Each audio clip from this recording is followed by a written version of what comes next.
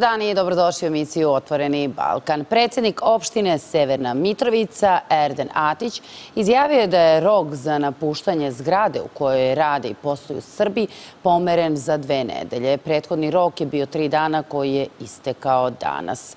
Pod parol Evropske unije Peter Stano rekao je u četvrtak da je Brisel zabrinut zbog nedavnih odluka administracije opštine Severna Mitrovica za koje, kako rekao, ne utiču na bezbednostnu situaciju.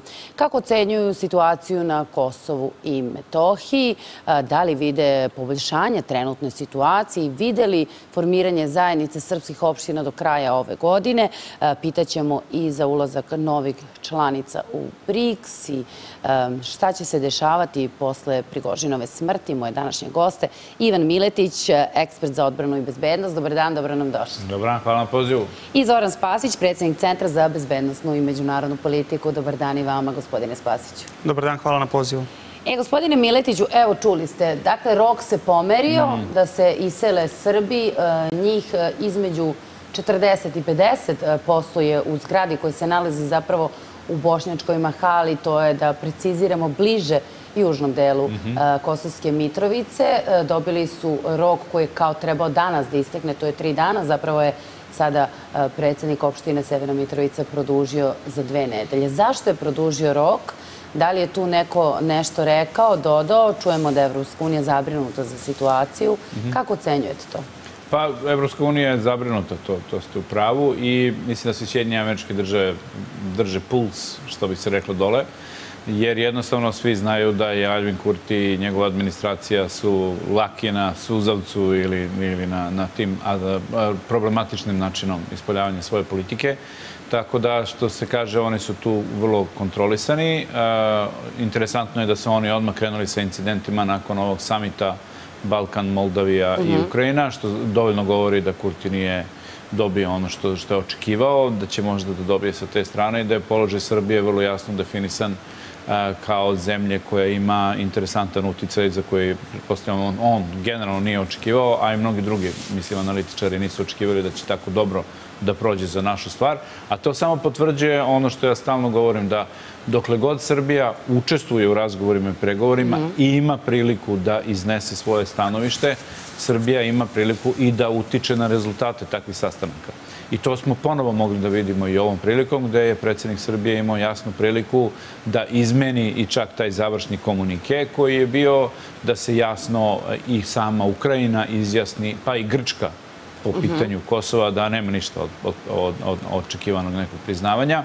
I zato je izuzetno važno da mi učestvujemo na svim tim forumima koji se dešavaju i da iznosimo činjenice koje se dešavaju na terenu i da pridobijamo naravno i simpatije za svoju stvar od svojih e, e, zemalja iz samog regiona, ali i velikih sila kao što su Evropska unija i Sjedinjenja američke države i uvek kažem, zato ja i podržavam tu politiku koja se momentalno sprovodi u delu od strane predsednika, jer je to nešto što je izuzetno važno.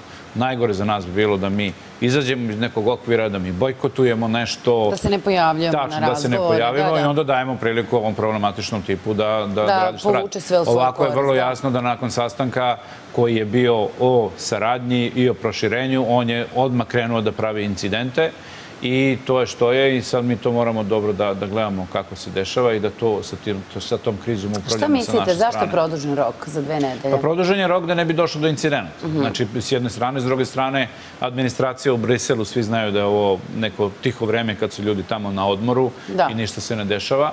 Tako da u, u, jednostavno i sama administracija Evropske unije kupuje dovoljno vremena da kad je u punom kapacitetu da može da upravlja da ovaj, sa celim tim procesom i, i eventualnom krizom koju će Albin Kurti da a, kreira, jer ja mislim sam i ovde vas spomenuo, ja od njega očekujem, znači septembar, oktobar, da će on napraviti neke lude kombinacije koje mogu da izazovu neke emotivne reakcije sa naše strane i zato treba biti pametan. Da, da, treba biti pametan. Gospodine Spasiću, rok produžen za dve nedelje. Prethodni rok je bio tri dana. Oni su upali u zgradu uh, u kojoj rade Srbi. Tu se nalazi kancelarija za Kosovo i Metohiju, kao i penzijsko-invalidsko osiguranje. Um, mnogi Srbi zavise od te zgrade, ali da ne kažem samo Srbi, zavisi i Albanci i Bošnjaci, i Goranci, tu se završavaju neke važne administrativne stvari za sve one koji žive u tom delu. Dakle, rok je prethodno bio tri dana, izgovor je bio da bi zgrada trebalo da se renovira, a sada je produžen na dve nedelje. Šta mislite, zašto se to desilo i šta možemo dalje da očekujemo? Pa kao što ste i sami rekli, ja sam već to u prošli put u vašoj emisiji rekao, nastavlja se taj jedan planski, kažem, podli pre svega teror nad našim narodom, a da se taj teror pre svega veze za osnovne životne potrebe. Počelo je sve sa strujom, pa voda, pa smo onda imali kad je telefon u pitanju, pa televizija, pa sada nešto se tiče socijalnog osiguranja. Znači, sve se radi na tom nivou da se oteža položaj našeg naroda. Sada mi, zahvaljujući istorijskim potezima predsjednika Vučića, pre svega diplomatskim potezima, političkim potezima, mi smo došli u situaciju da pre svega Sjene američke države, a onda i veliki broj zapadnih država, uključujući i Evropsku uniju, govore sa pozicije da je Kurti kriv. Da li dalje postoje neki dvostruki standardi?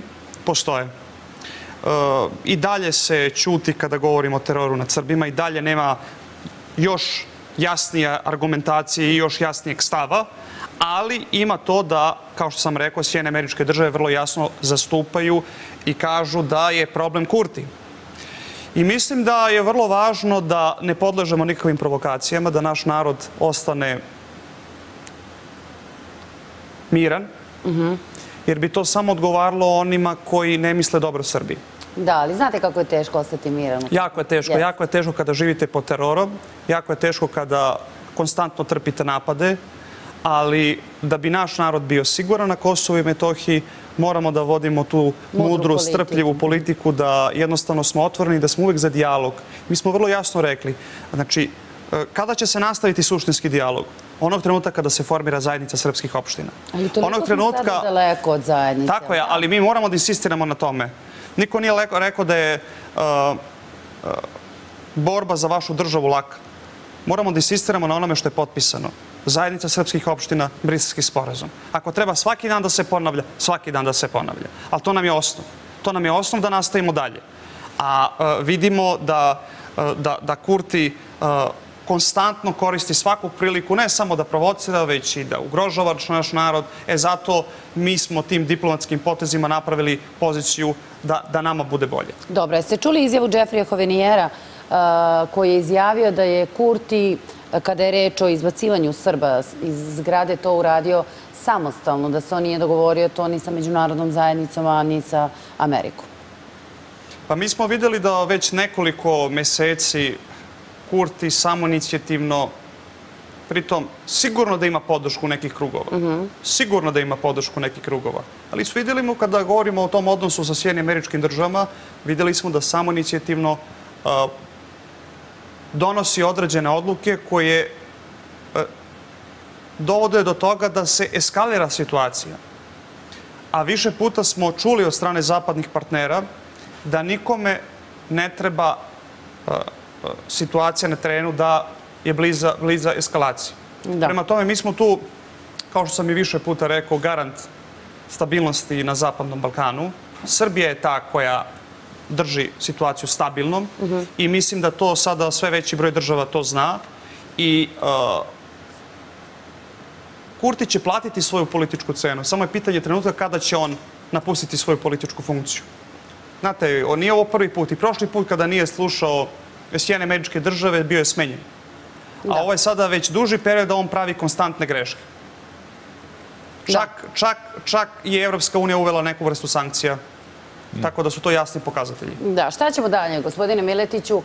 Čini se da smo toliko daleko od formiranja zajednice srpskih opština da je, evo kao što je gospodin Zoran Spasić rekao, potrebno da svaki dan tražimo zajednicu srpskih opština, ali nekako sa svim ovim incidentima čini se da je ona otišla u neki levi ćoš. Pa tu je problem, zato što Albin Kurti to jednostavno ne želi da sprovede, jer on ovaj, u tom manevru ne može... Mislim, jednostavno čovjek je rešio da to neće da uradi. da, da, i to je jasno i rekao, da, to smo čuli više puta. To je, da, znači i pred medijima i namjerno je mhm. rekao na srpskom jeziku i ostalo. Tako da tu nastaje glavni problem.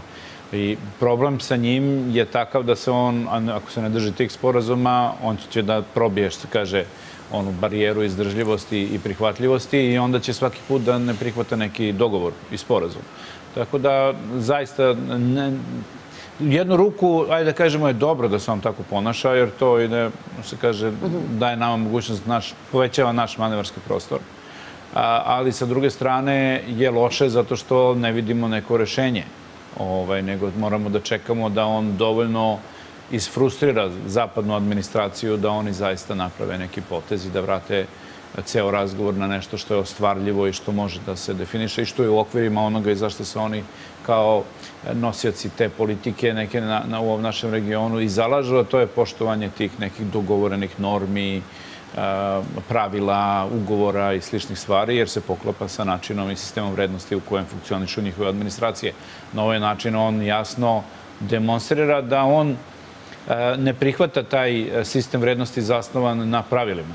I što je ono što je ozbiljna stvar, jer onda on pokazuje da on u stvari ili neki samostalni igrač mhm. ili on ima podršku sa nekih drugih e, destinacija, a ne Evropske unije ili Sjemičke države. Da, i to je vrlo moguće. I to je vrlo moguće. To što više ljudi razmišljaju, sve više govore, a onda je to izvor za destabilizaciju ovih naših prostora i zato mi uvek moramo dobro da, da motrimo to kako funkcioniše i da imamo da shvatimo da on možda i nije glavni pregovarač, nego naš glavni pregovarač treba da budu zapadni mhm. centri moći i da njima stalno iznosimo i podatke da im dajemo. Da, a jeste, e, jeste li, mislim, da li se slažete sa teorijom da bi jedan poziv iz Vašingtona promenio situaciju na Kosovo i Pa ne znam, bojim se da možda on ima E, centar moći negde drugde. Jer ako, ako do sad, ako slušamo šta govore američki ambasadori da. i ako vidimo da oni deklarativno, on kaže mi smo američki saveznik, mlate sa američkim zastavama, ali to meni sve više na deklarativnu igru da oni ubede američke zvaničnike da je to tako, a s druge strane imamo izjave američkih ambasadora koji se ne poklapaju sa to njegovom pričom. Onda to meni govori da on u stvari ima neki centar moći negde drugde, a to nisu Brisel i Vašington. I to je ono što je zanimljivo i treba dobro obratiti pažnju. Možda naše službe treba malo se pozabave sa time i ako nabave neke dobre informacije da daju zapadnim službama da. Ovaj, ali da ne budu to frizirane informacije, nego pravi dokazi. Tako da je to interesantna stvar. Treba obratiti pažnju ko, ko je to centar moći gde ovaj, on vuče tu neku svoju snagu, a, što više vreme prolazi, jer se zaista se ne poklapa retorika koju on radi. Neki ljudi kažu možda je to toplo, hladno, ovo, ono, ali ja ne vidim da je to tako. Ja vidim da on čak kreira probleme i da je čak možda čak i jasno demonstrirano da nije ni bio pozvan na ovaj samit, nego je Edi Rama se povukao i dao mu šansu da bude prisutan na sastanku koji je bio nedavno u Atini. Da, da, da, jer interesantno. Ti ne rekao da nije zvala Edija Ram zbog pa nečeg? Pa nešto tu ima, zato kažem, da, nešto se tu dešava. Nešto se tu dešava. Ali vidite, pojavio se, na primjer, Zelenski. Pojavio se Zelenski, što je to bio, to, je bio samit, jeste, ali to je mhm. bio samit Balkan, Moldavija i Ukrajina, što je vezano za tu novu inicijativu mhm. priključenja u Evropsku uniju. Znači, nije to bio samit vezan samo za, za Zapadni Balkan, niti samo za pitanje Kosova, nego to bio malo širi samit i tu sad treba dobro obratiti pažnju zašto Edi Rama nije bio, a bio je Kurti, ko je tu zauzeo čiju stolicu, ja bih to tako pročitao, jer tu se nešto dešava vrlo jasno, a nama ide u korist. Znači imali smo jasnu izjavu Grčke, jasnu izjavu Ukrajine, znači mi dobijamo, a on, oni gube i zato kažem je dobro, treba obratiti pažnju ko je to centar moći. Mislite da nisu dobri odnosi Edije Rame i Albina Kurtija? Pa mislim da nisu. Mislim da to duže traje, da je krenulo ta erozija je krenula onog momenta kad je Albin Kurti krenuo da se mešaju unutrašnju mhm. političku scenu u samoj Albaniji na poslednjim izborima i ovaj, mislim da njegove pretenzije su malo veće i njegovi apetiti su malo veće nego ovaj, njegove mogućnosti. Zato se pojavio i u Severnoj Makedoniji gde pravi probleme. Da, da, da veliča veliko Albanije. Znači, on, znači, ali opet kažem, to je dobro za nas, jer on pravi probleme i drugim državama na Balkanu i vrlo jasno se demonstrira Jeste dobro za nas, ali taj, taj skup, kako kažu neformalni u Tetovu, niko nije osudio osim uh, Severne Makedonije i nas. Pa ali to je to, to je dobro. Znači nismo samo mi, opet kažem, znači sad nismo mi jedini hmm. ovaj, koji su nezadovoljni, nego sve više. Vremena treba da prođe, da, što kaže ovaj kolega. Pravljenje države je ozbiljan posao i dugo traje, nije nešto se dešava preko noći ali je dobro da on pravi te incidente, jer onda mi imamo sve više saveznika, a to je ono što nam treba. Mhm.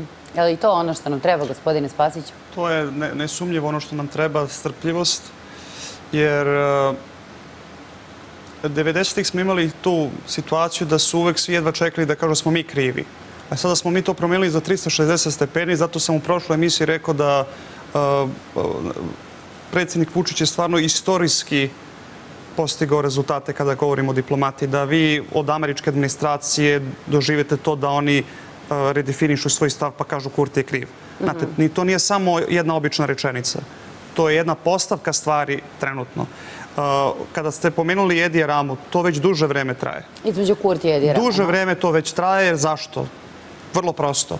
Kurti svojim ponašanjem, da hoće da bude novi Zelenski, da hoće da bude neki veliki lider, ugrožava nacionalni državni interes Albanije. Mm -hmm. Do te mere da predstavlja pretnju za Albaniju. Postiče sukobe, postiče situaciju da imamo nestabilan Balkan. To nikome ne odgovara sad. Da. Niko nam ne odgovara, posebno što imamo vrlo zategnutu situaciju kada reč u jednom delu Evrope, a to je da imate rat u Ukrajini. Mm -hmm. E sada, šta će, se, šta će se sada ovde dešavati? Ono što je za nas važno, da se potpuno sada okrenemo onome o čemu je predsjednik pričao, to je taj srpski interes. Da potpunosti, znate, srpski interes, to nije samo jedan običan politički manevar.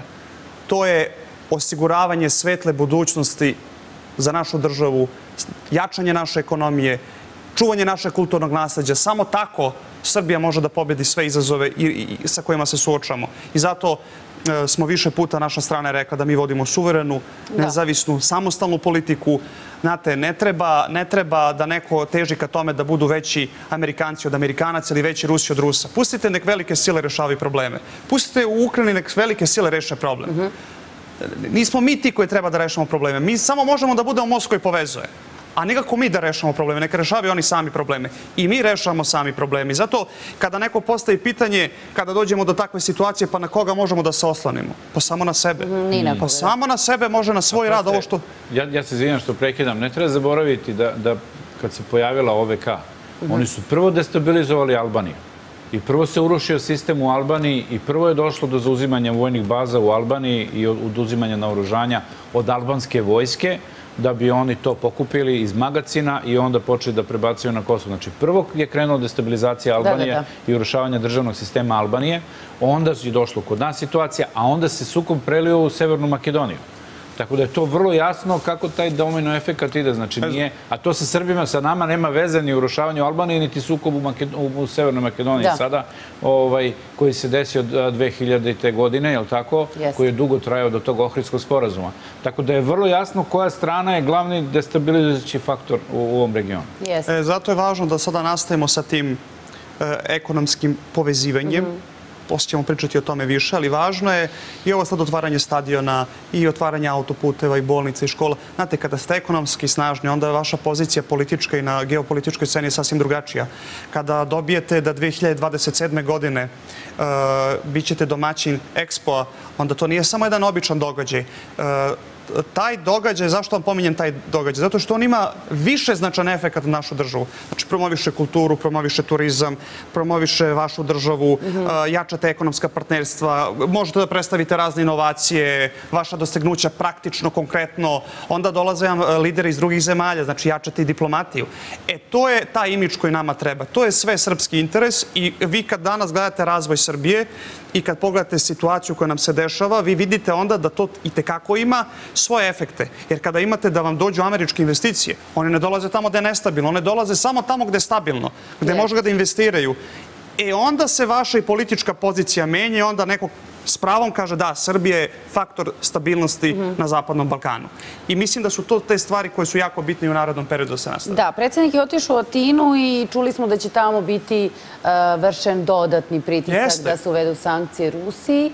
Uh, čini se da je uh, predsednik to, jel tako, odbio, ne čini se, nego je to tako, i da Srbija je naučila da kaže ne.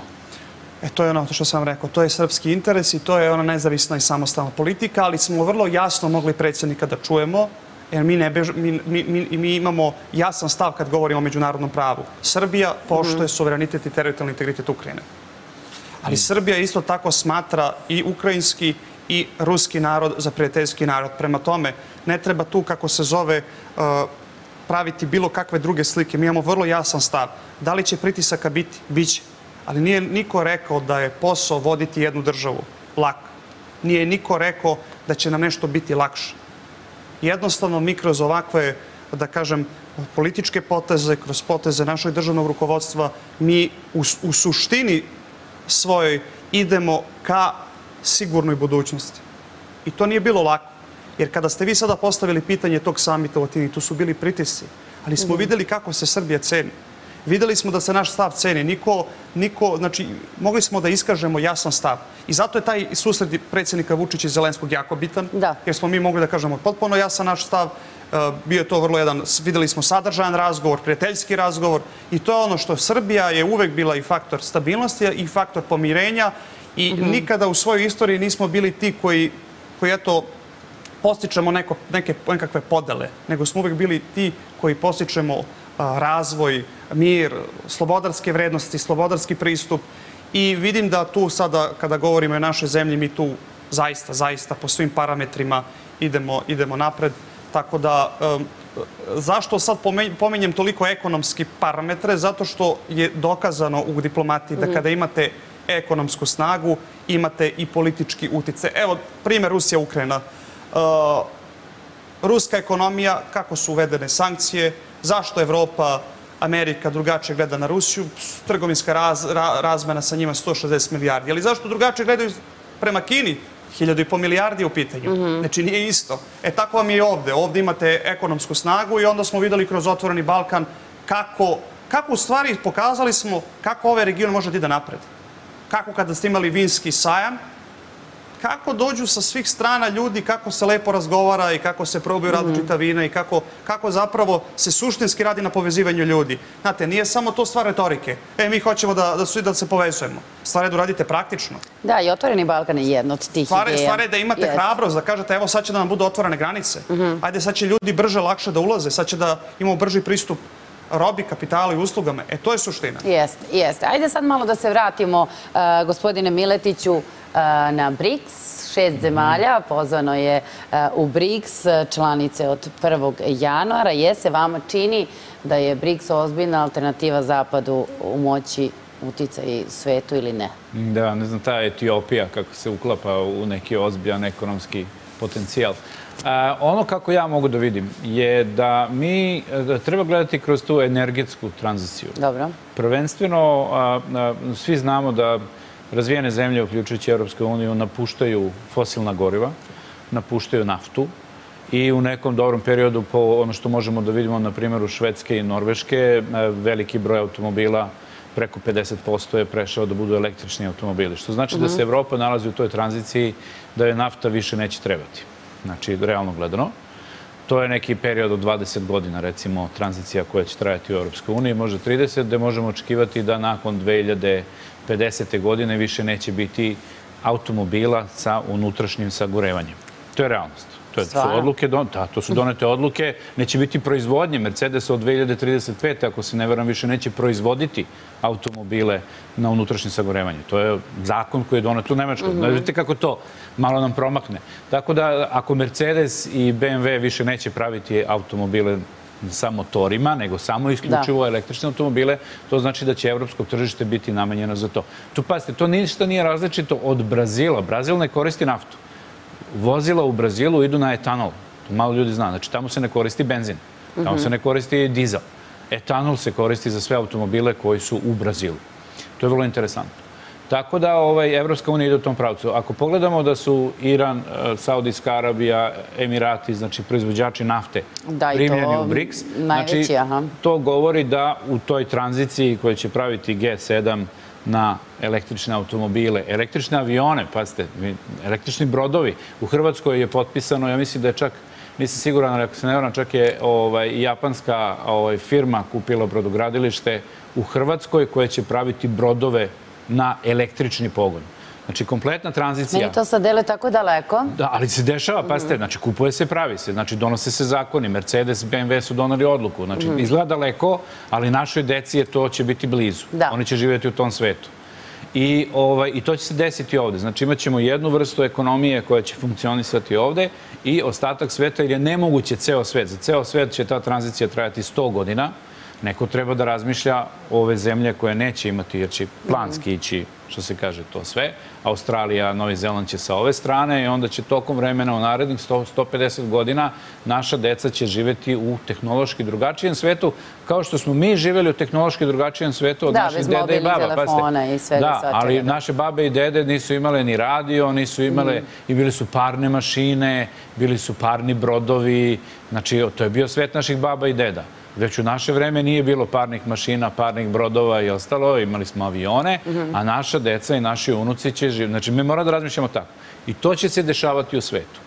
A, BRICS će biti ta prelazna a, grupacija, vrlo jasno je sada, gde će se zadržati ti automobili na unutrašnje sagorevanje, gde će nafta biti i dalje i oni će verovatno malo sporije preći na ta tehnološka rešenja koja ćemo mi u Evropi preći. Ja to kažem znači, ljudima, da treba razmišljati. ne može da Ne može da bude jednostavno, pogledajte koje su zemlje primljene. Znači, primljene su proizvođači nafte, Dobro, jasno. da. Primljena je Argentina, koja je večito zadužena zemlja, ali verovatno zbog Brazila mm. da bi imao sad i špansko govorno područje ali da bi Latinska Amerika. Ali Arabski Emirati, Saudijska pa, Arabija. Zašto? Ali a, a, a, ljudi redko znaju da, pošto vi znamo da je Iran pod sankcijama. Tako, tako je. I jedini način kako Iran trguje sa ostatkom sveta je kroz Ujedinjene Arabske Emirate. Banke, dolari i sve, to je u Emiratima. Znači, to je ta spona ekonomska između Saudijske Arabije i Irana i ostatka sveta. -hmm. Znači, Iran isto nema SWIFT, kao ni Rusija što nema SWIFT i ostalo. Već duže vreme, e, ljudi, e, e, Kina već duže vreme ima, od 2007. godine je krenula da pravi ugovore bilateralne sa mnogim zemljama, da trgovina između Kine i drugih zemalja se dešava u juanima. Tako da Kina neće zameniti juan sa nekom BRICS valutom, nego će najvratnije te zemlje preći na juan. Jer je to nešto što već duže vreme Kina radi -hmm. i recimo, redko ko zna da još 2009. godine svi trgovinski odnosi koji se dešavaju između Australije i Kine se dešavaju u juanima. I Kina je otvorila svoju Bank of China koja sedi u Sidneju i sva trgovina ide u juanima, to je dogovor dogovoreno davno. Tako da ljudi mora malo tako da razmišljaju, ne razmišljaju da će dolar da se zameni s nečime. Da. Jer ono što ljudi ne znaju... Mislite, to je nemoguće. Ne, zato što mora da bude centralna banka. Ne može, ne, svetska banka ne upravlja dolarom, nego centralna banka Sjedinjeničkih mm -hmm. država. Tako. A, euro centralna banka se nalazi u, u Berlinu, tako? Znači u Nemačkoj. Mora da bude centralna banka koja će da upravlja nekom valutom. Gde će biti ta centralna banka? Koja je najjača zemlja ekonomska svih? Peking.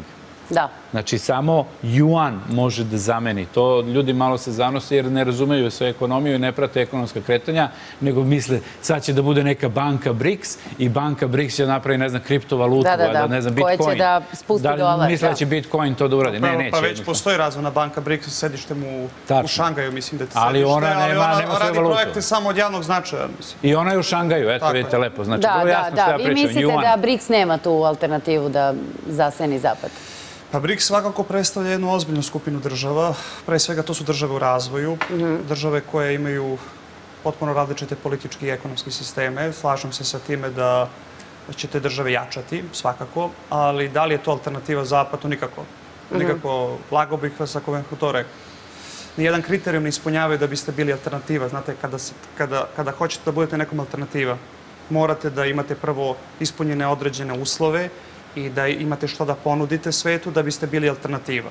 Znači u ovom trenutku BRICS nema nijednu komponentu koja bi mogla da se suprostavi Zapadu.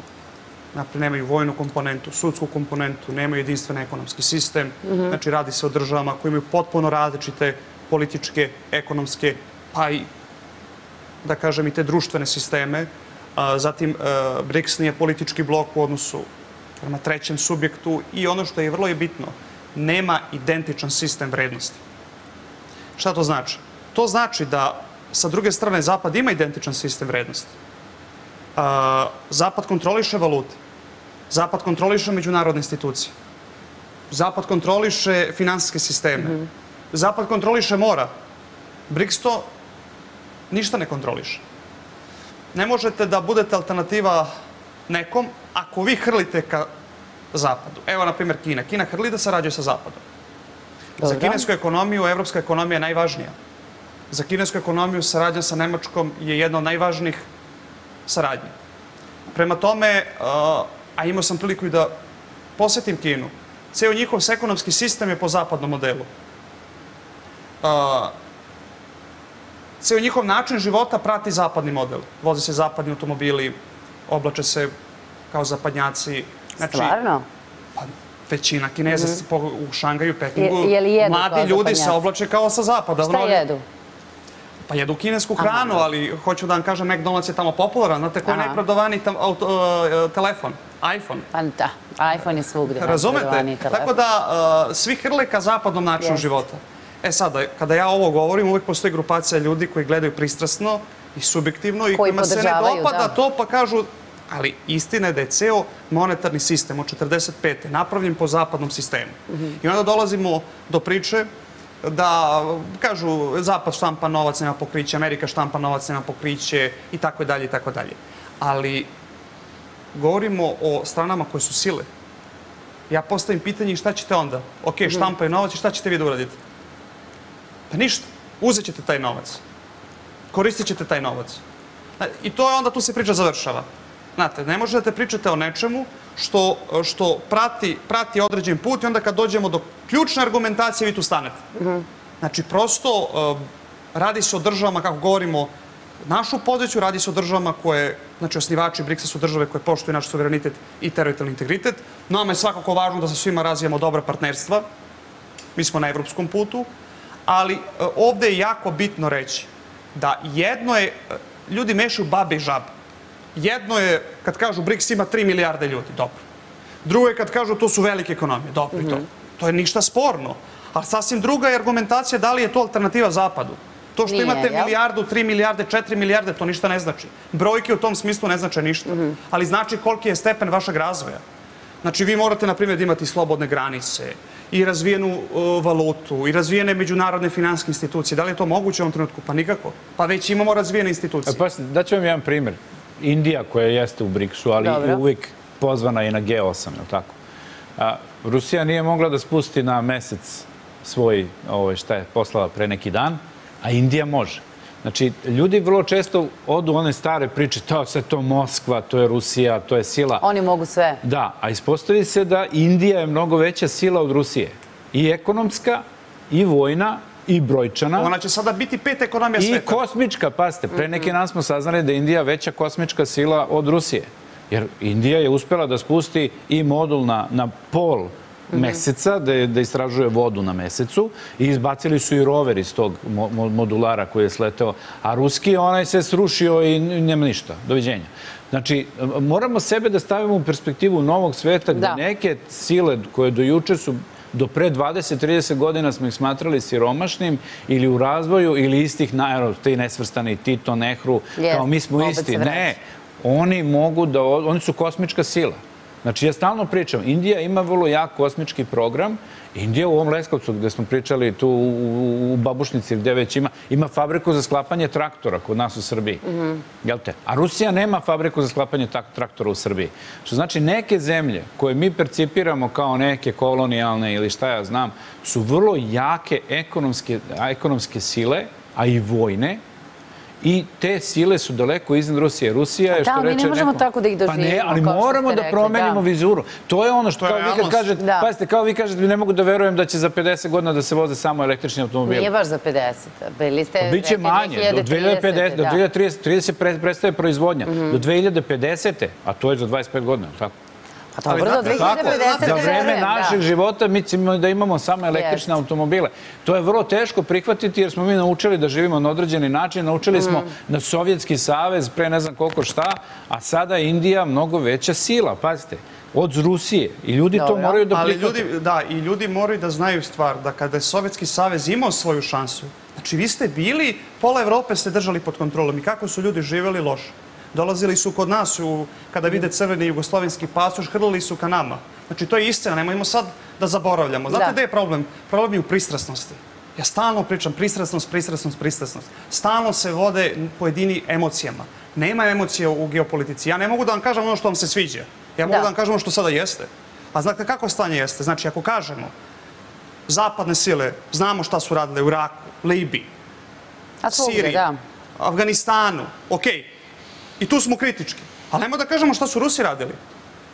Što samo uvek sa, sa jedne pozicije krećemo. Evo šta su radili, pa da navedem evo nekoliko primjera. Jel 92. godine Rusija napala Moldaviju? Jeste. Jel 99. su sravnjali grad, svoj grad, Grozni? Jeste. Jesu 2007. godine izvršili sajber napad na Estoniju? Jesu. Jesu 2014. izvršili invaziju na Krim? Jesu. Jesu 2015. sravnjali sirijski grad Alep? Isto jesu. I su 2022. godine izvršili agresiju na Ukrajinu? Jesu. Pa šta je sporno? Kako ja sad vama da kažem da to nije? Pa jesu. Da, da, Znači, sporno je što... gde, gde, je razlika? Razlika je u onome što sam rekao vam u prošloj emisiji. Sila se uvek rukovodi silom. Nema razlike. Znate, sad su ovi ovakvi, e sad kada dođu ovi, onda je med, mleko, Da, biće, sve da. će da bude ravnopravno. ili što meni jedan gospodin reče na, na benzinskoj pumpi, kaže, ja ti si super, sve okej, ali kaže, znaš šta, jedini razlog zašto sam ja za Ruse je zato što sam protiv Zapada. Jeste, da, Znači- da, to je, to znači- je problem u A Srbiji. ne moramo da budemo to što gospodin... Pa ne moramo da budem, neću... Hoću da budem za Srbiju, bre, samo. Tačno. Što bude To za srpski Znam, ali interes. znate kako Ali Srbi ne gledaju. da Amerika nas je bombardovala, Ne, ne, ali oni mi su moramo nam da neprijatelji. postavim Ne treba to pitanje. da Rusi su naši, Jeste. znate kako Evo, ja vam gledaju. kažem, izvršena je brutalna agresija. Nemam problem to da kažem.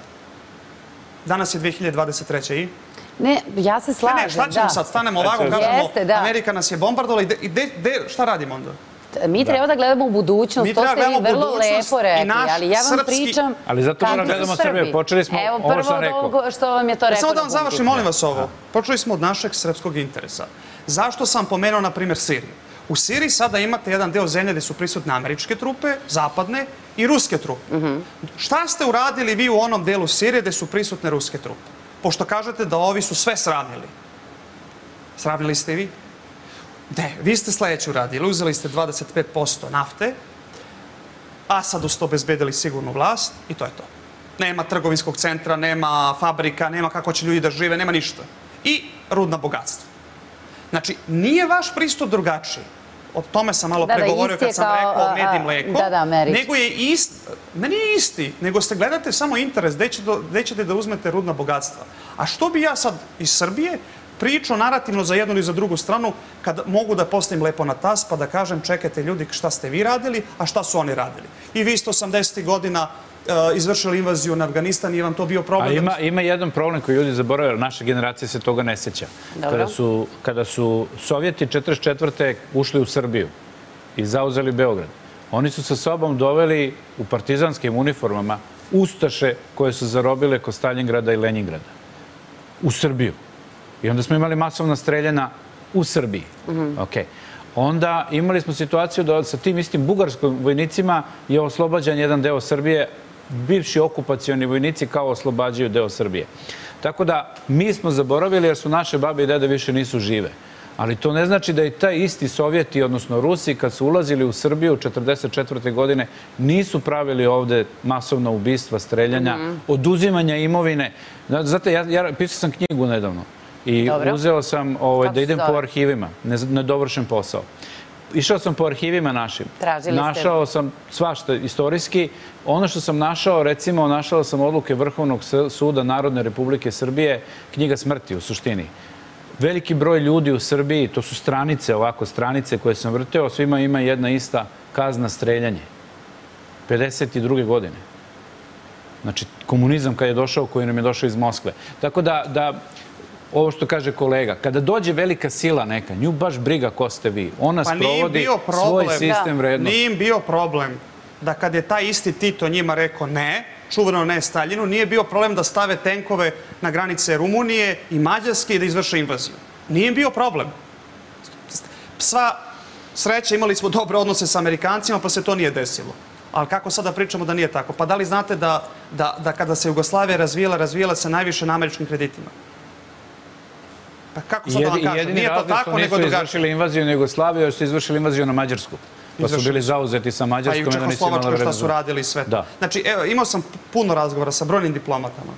I posebno kada sam razgovarao sa diplomatama i brojnim ambasadorima iz zemalja koji su istočne Evrope. Dobro. Znate, oni, oni samo kažu ovako, argumentovano. Da, bili su Sovjeti i nismo imali da jedemo hleb. Nemate šta da mu kažete. Da, mi smo danas u NATO, u Evropskoj uniji, živimo dobro.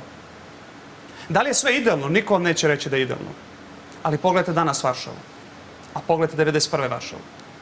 To nije propaganda, sad će neko reći propaganda. Dobro, idi, idite, posjetite Varšavu, pa ti mi kaći dalje propaganda ili nije propaganda. Pogledajte Češku, najveći proizvođač automobila. Slovačka. Ja sam bio u. Bratislavi, znači nevjerovatno. Bila sam ja. da. Isto kao ovaj projekat što mi imamo Beograd na vodi, oni imaju ispred nas, znači totalno.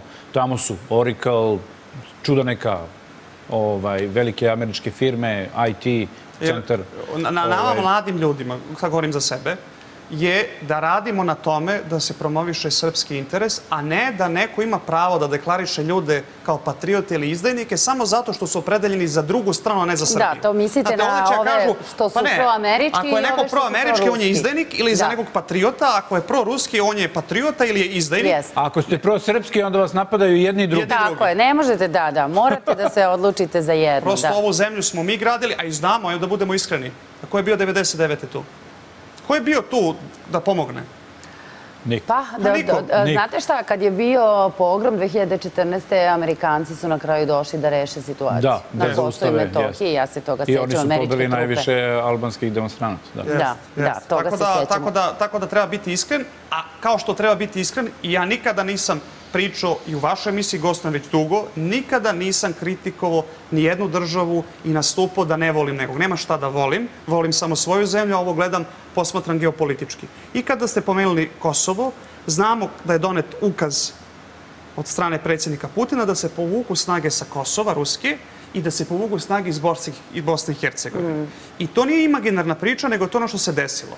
Kada napustite neki teren, vi više nemate mogućnost da utičete u tom delu regiona, teritorije ili već bilo šta. Da, ne znamo Tako šta da, se tu desilo, ali a, hoću da vam a, a, kažem, kad su Rusi došli na Kosovo i Metohiju, da su ih Srbi dočekali kao spasioci. I onda su oni otišli i Da, ostavili da, te i Srbe na milost i nemilost. I onda nakon toga došao pogrom, je li tako bilo? Oni su ostavili Srbe, da. Pa Nije, 2014. ovo je bilo 99. Ne, ne, ne, oni su 2000. otišli po dve, da, da, da, ne. Ali možete, to je ta Pogrom je bio... po- pokušaj, pokušaj da se sve svede na jednostavne reči. Znate, kad čujem te borba protiv nacizma, čekajte bre, postoje uvek radikalne grupe, radikalne grupe islamista, radikalne desničarske grupe, to ništa nije sporno, radikalne levičarske grupe. Ali sporno je, morate da... Znači, Ukrajina ima deo teritorija gde žive Rusi. I to ništa nije sporno. Ali imate celu Ukrajinu koji kažu da su Ukrajinci i koji se ne identifikuju nacionalno sa vama. I ne možete pričate sada, ne, ne, ne, to je vama zapad nametno. Ne, oni ne žive to sada tako, oni se Smatraju Ukrajincima smatraju od početka. Znači, gospodine Spasiću, zaključak je da e, trebamo da gledamo svoje interese, Svoje da volimo svoju zemlju, Tačno. ali da ipak e, idemo više ka zapadu.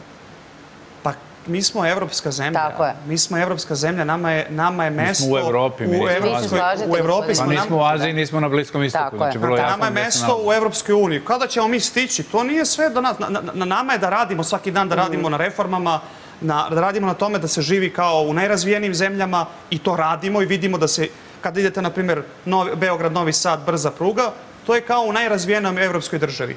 E, a na drugima koji donose odluke u okviru Evropske unije je da odlučuju o nekim drugim stvarima. Na nama je da mi vredno radimo i zaključit ću da gledamo naš interes, jer e, e, to, toliko je sada to potrebno, tolika su složena vremena došla, da stvarno, da, ne, da, da, da stvarno ja ne mogu da razumem od tolike Srbije, od tolike bogate naše istorije, imate ljude koji kažu da se identifikuju sa drugim narodom. Da, da, da, jeste malo čudno. upravo Vrlo star narod sa da, bogatom da, istorijom. Srbiju, Srbiju treba gledati, ali na, najteže je biti na, na srpskoj stolici zato što vas napadaju i ovi sa istoka i ovi sa zapada. Ja, ja to da, doživljavam da. stalno.